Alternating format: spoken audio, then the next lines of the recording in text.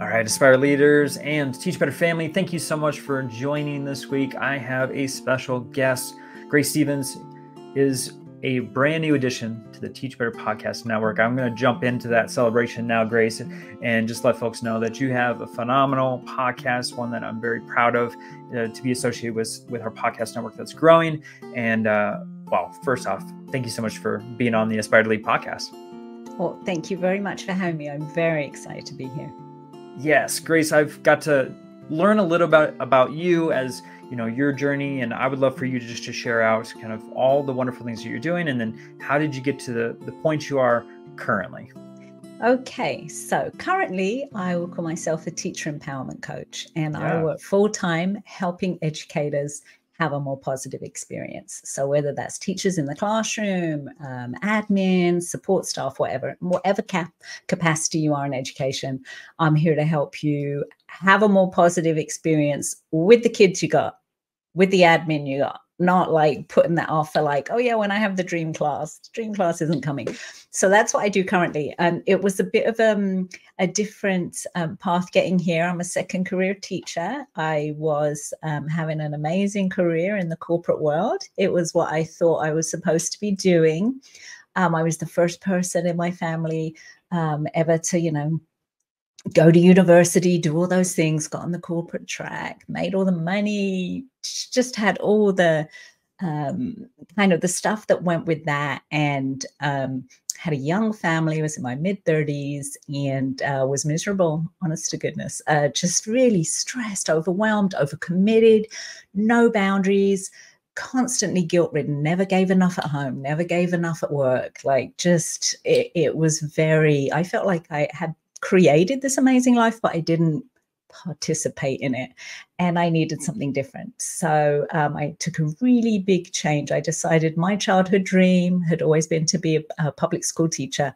Went back to school, started teaching at a Title One school, loved it, was amazing, checked all the boxes for me. It had connection, it had purpose, it was fun.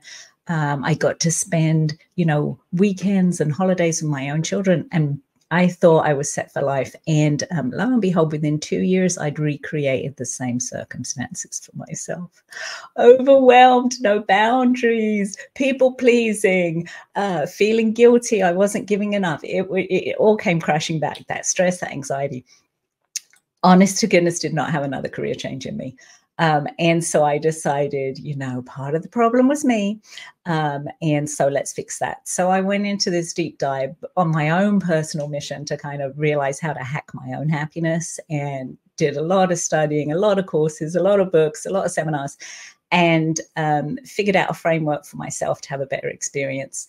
And then other teachers noticed and asked me about it, and um, and so then I put that into a framework and a book, and and so the book is Positive Mindset Habits for Teachers. Um, I had written several books before that, but not really about teaching. I kind of kept that separate. But then, um, so that's what I did. So, anyway, after 20 years in the classroom, I always said I wanted to be a public servant for 20 years. So, after 20 years, which saw me all the way through COVID and post COVID, goodness, what an adventure.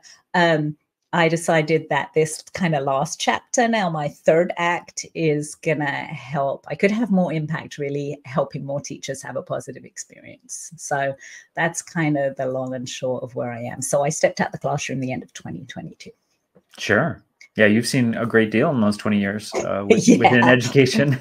yeah, yeah, just the technology alone. Oh, right. You know, just just like you know the overhead projectors and such. Um, yeah, no, it has been. Um, yeah, it's been a lot. It's been interesting, but you know what? The stuff that I still was so passionate about from the day I left, from the day I started, had not changed, and that was believing in the potential of education to change the world. Yeah and particularly uh, you know, public education a free education, equitable education for everybody, mm-hmm. seeing potential in students, helping them um, believe in themselves and their own success. Like none of that.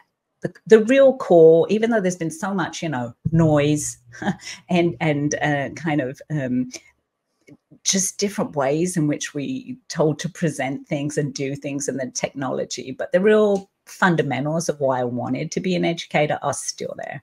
And yeah. I still believe in their capacity um, to help have a very, uh, a large impact and a rewarding career. Mm-hmm. Well, Grace, you had touched on your book, which I'm so excited about uh, Positive Mindset Habits for Teachers. So let's kind of dive into that as kind of our baseline of our conversation because okay. I, I want to know about the concept of the book, but then also, you know, and you kind of touched on this a little bit as the why, but like, how is that going to help our teachers and our leaders that are listening you know, for them reading that resource? Okay, so the first thing is, you know, I wrote that book five years ago. And so now I have a bit more of a clearer framework. It was based on another book I'd written years before called The Happy Habit, which was all the science of like how we um, can hack our brains to be happier. And I think it's a much bigger conversation these days. And it's an easier conversation to have because now that, you know, everybody is familiar and kind of on board with the idea of growth mindset right? So the intelligence isn't fixed. I don't have to convince anybody of that anymore. Well, it turns out that your happiness standpoint isn't fixed either. So in that book, at the very beginning, I dig into the science, which is that only, you know, so some of us, you know, some of us are glass half full people, some are glass half empty. I like to think I'm a the glass is refillable but um, you know genetically we're kind of dealt some kind of predisposition right and so but so 40% of it is genetics and I did not win that lottery. Like my background, family background is is not. There's a lot of anxiety, depression, things we struggled with. Um, so that's only forty percent, though. Actually, fifty. Sorry, fifty percent. Ten percent. Only ten percent is our circumstances. And I know a lot of people like that's crazy. It's true. It's scientifically validated. People much smarter than me have proven that. A lot of research out of Harvard on that a lot more acceptance of that these days. So the part I focus on is that 40%, 40% of your happiness quotient comes down to intentional habits and practices. And so um, the book is based on positive mindset habits. So kind of where my, I want to say my kind of like niche, my zone of genius is, is like, these aren't, you know, I didn't do the research. I'm not a researcher. Um, but I've taken all that research and integrated it how does that come to play in a classroom? Because we spend so much time in our classrooms. And how can we have practices that integrate um, the students too? Because then you know you're going to be held accountable if the kids are doing it too. Um, how do we make it simple, easy? All the practices, um, none of them cost any money you can do them in less than five minutes a day and but a lot of it starts with mindset and so even though it's simple you know, it's not easy. You've got years of conditioning to um, kind of overcome. You've got years of uh, biological evolution. You know, our brains have developed over time to keep us safe, right? Not necessarily keep us happy. so there's that whole piece to do with our nervous system. And as we know, being in a classroom is literally an assault on your nervous system, right? There's so much stuff going on. Um, yeah, I taught second grade for a long time and the um, the best I ever got anyone to hear describing it was it's like being pecked to death by by geese, right? Isn't that really just if you teach them with littles? Um, but any age that you're dealing with. So anyway, so that was the foundation of the book. It looked at 10, um, 10 kind of mindsets. And then at the end of the, it gives the science for it. I'm a little bit on the nerd science, um, but then it breaks it down into practical terms. Here are some habits you can do. So that's kind of um, what the book was. That awesome. book. Yeah. Right. So let's talk about the science a little bit because you've touched on kind of like a pie mm-hmm. chart of happiness. Yeah. And uh, I'd love for you to dive a little bit deeper. And maybe this is just the nerd inside of me, but I always get excited with data and, and science in regards to these things because, you know, there are a lot of people I talk to all the time, especially leaders that are stressed and, and are not finding happiness, especially mm-hmm. this time of the year. Um, we're, you know, in the spring where there's so many things due. You're looking already to the next year and uh, feeling mm-hmm. that added pressure um, in a lot of different facets. So um, I'd love to learn a little bit more in regards to the science of happiness. Okay, so if you look at the basic, right, really foundational building blocks of um, positive psychology, mm-hmm. Um, I don't know if we all had to take psychology 101 at some point. You know, my my formal schooling is you know decades behind me now, but um, you know, oh, you have to edit out that noise. Um, really the boy building blocks um, for a happy life, if we want to say, are going to be having purpose. Okay, well, you got that in school, right? Connection. You know, there's a lot of work these days um, on the blue zones, right? On the, the areas in the world where people live to um, the longest, right? And of course, part of that is, you know, diet and, and other things and exercise but but the the kind of the other side of that is they all look at and it is these building blocks is foundation is uh, purpose is connection um, occupational self-direction. Now a lot of that unfortunately if you work in a district and you're a teacher that um, has a very scripted curriculum and a real stickler for an admin, everybody on the same page on the same day, right? Like, so a lot of that I find, especially over the two decades that I taught, a lot of that, it was a struggle to maintain that, that creativity, that spark, right? Um, the idea of flow, of getting deeply involved in work. And I found it very easy. It used to be easier when there were fewer devices, um, technology in the classroom, but to get in that zone with the kids where you're learning and you all those things. So the, the building blocks are there inside the classroom. Um, again, as far as the brain science goes, um, a lot of what I work on with people when I'm helping coach them is this whole mindset piece is, well, I have this framework we love ourselves some acronyms, right? So the framework I have, I call it ECHO framework, where the E stands for your energy teaches more than your lesson plans. The C stands for control what you can control, right? When you talk about all the things that are happening, like when you focus on the things you can control, you're a lot happier. Um, the H part is happiness can be synthesized. That's a brain science that I go into that I no doubt on. And the last piece, which I think is really important for teachers, administrators, everybody, is this O is other teachers' experience doesn't need to be your experience, right? You get to craft your own experience. And one of the reasons that I did end up writing the book was because I worked in a very small school. So we had the same student population, we had the same admin, we had the same resources, or in our particular case, unfortunately, lack of resources, um, the same culture, right? And yet, my experience with all those things, I was having a different experience than other people because working on happiness is trying to have a different experience in the situation with which you find yourself, not putting it off for some future thing, right? There's a lot of, you know, you might remember from psychology, hedonic adaptation, right? The hedonic treadmill. Like, as we overestimate how happy we think certain things are going to make us. Oh, when I have that new car or those new shoes, or a different group of students or a different admin or the grade that I really wanted to teach, right? I got pushed around from grade to grade. You know, it was a small school. How many times, like, oh, now you're teaching a split. Now you're teaching this. Now you're teaching that, right? You know, I always felt like, oh, if I found my way in the perfect grade, right? So you can't put it off for a future event, for spring break, for the weekend, right? How many educators live for the weekend or spring break or summer break or woe betide for retirement, right? Like, ah, I just gotta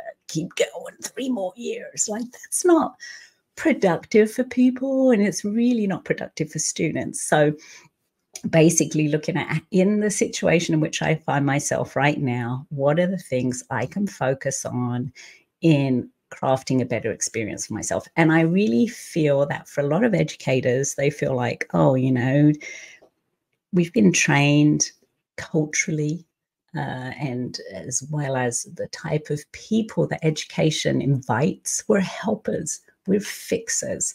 We get into this kind of teacher martyr syndrome, right? Into this some kind of weird competition that we're trying to compare who's working the most, who has the worst kids, who has the most, you know, oh, you think that's something, you should hear about this, right? It's kind of like we up the ante when we talk to people. Um, all of that is not really helping us focusing on what we want, noticing the things that are going right. And students, um, they understand our, our energy, right? They, they, they know the difference between a teacher and an admin who is just kind of trying to get through the day, who is low key resentful because they're exhausted, they overcommitted themselves.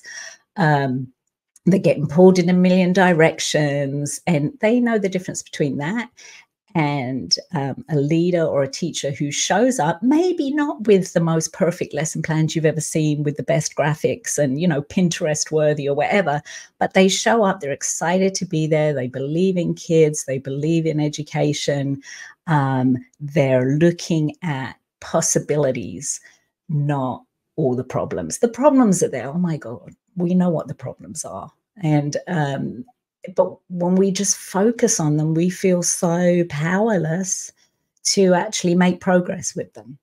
And so that's really what we look at is looking at, you know, confirmation bias, all, all those things. Like your brain is set up to um, filter out things. Um, there's too much sensory input, especially in a classroom, and you've trained your brain to filter in the stuff that you think's important. So if you think what's important is that one kid who's dysregulated, and not the other 29 who are, you know, helping each other and uh, and all those things. I mean, you've got to deal with the dysregulated kid. You've got to be, you know, calm, consistent, consequences, and move on. But don't have your radar set for that gotcha.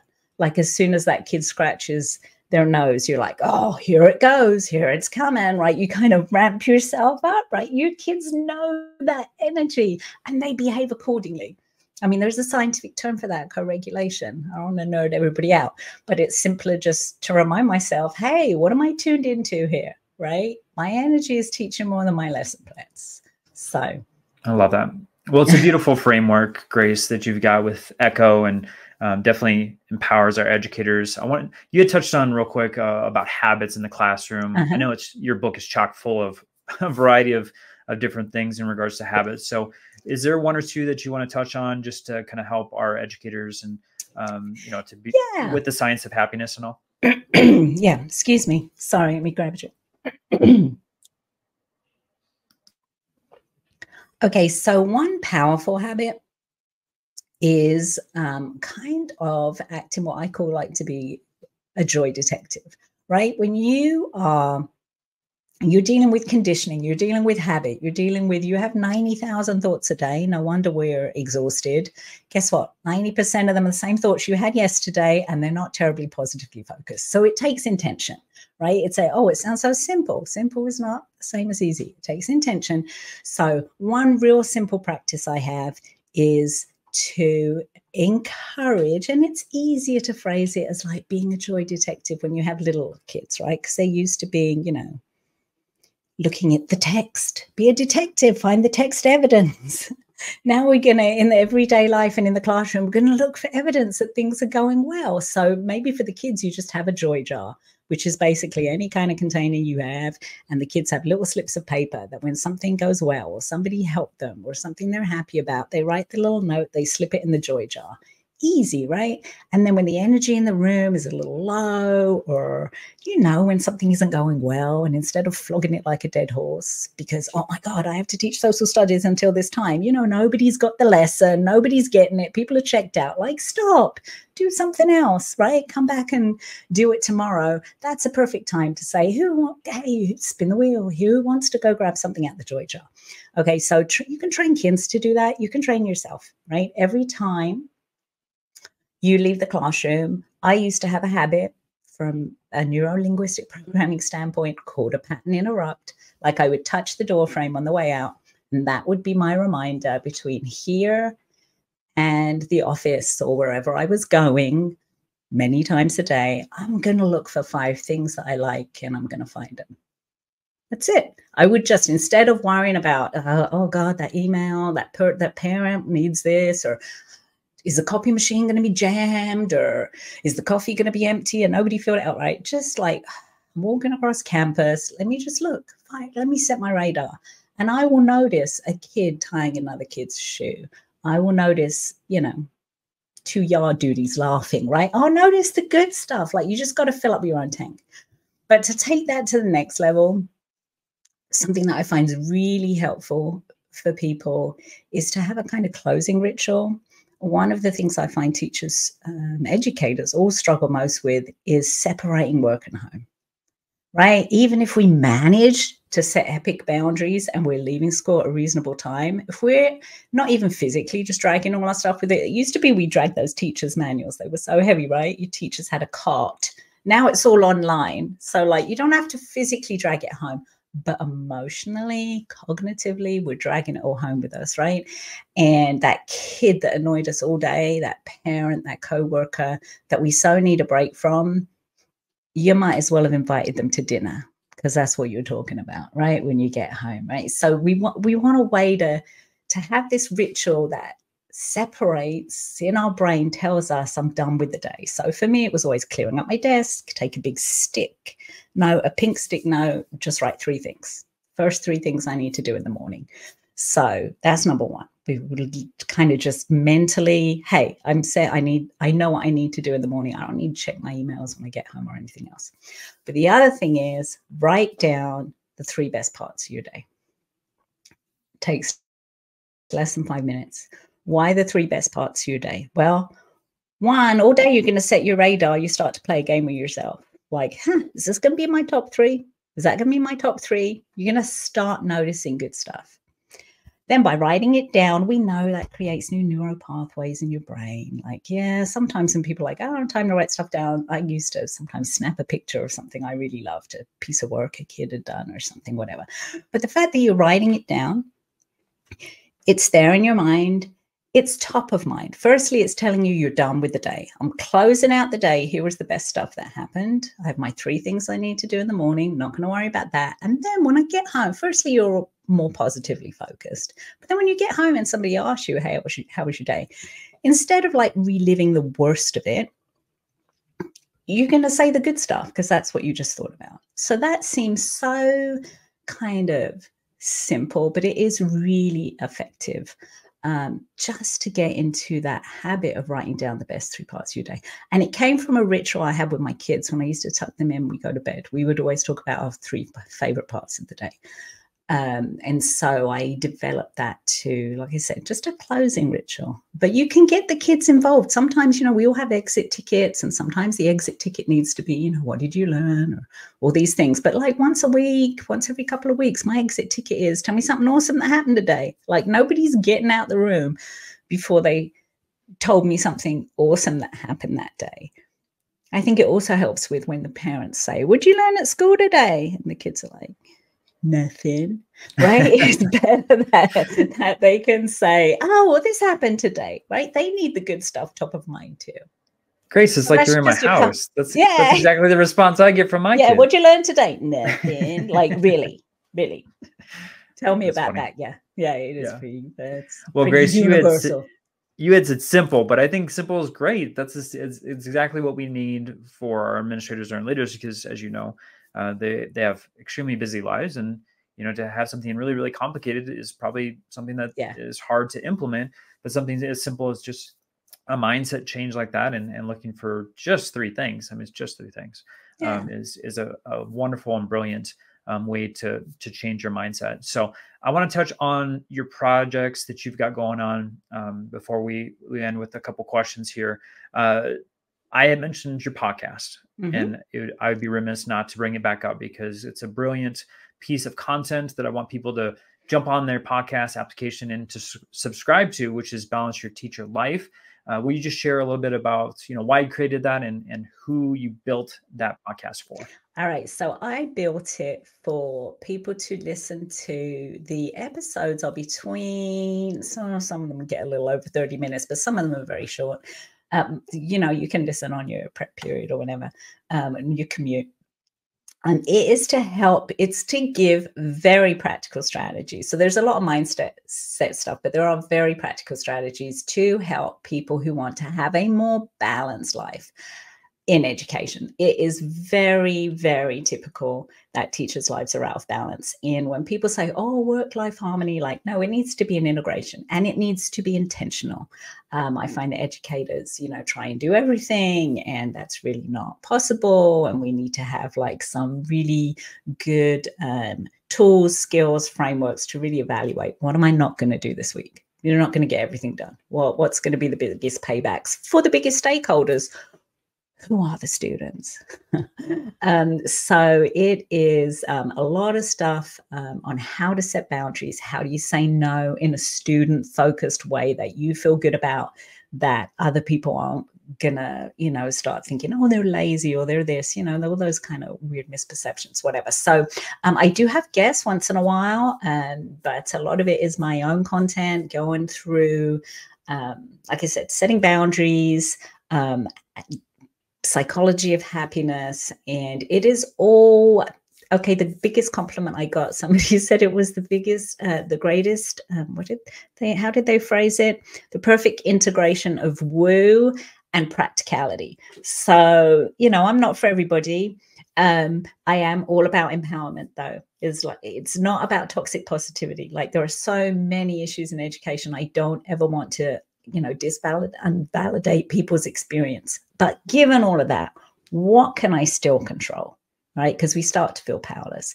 And so it's a lot of that. But they're shorty episodes. I have bonus episodes called uh, lunchbox love notes which are just like well, five ten minute episodes usually on a sunday a little kind of note of inspiration for somebody um, that i trust the universe will deliver to them right when they need to hear it. So um, yeah, it's Balance Your Teacher Life. And it was actually that name is, I have a signature course where I work um, with educators um, and coach them and do different things, which is a little bit more than just in the classroom.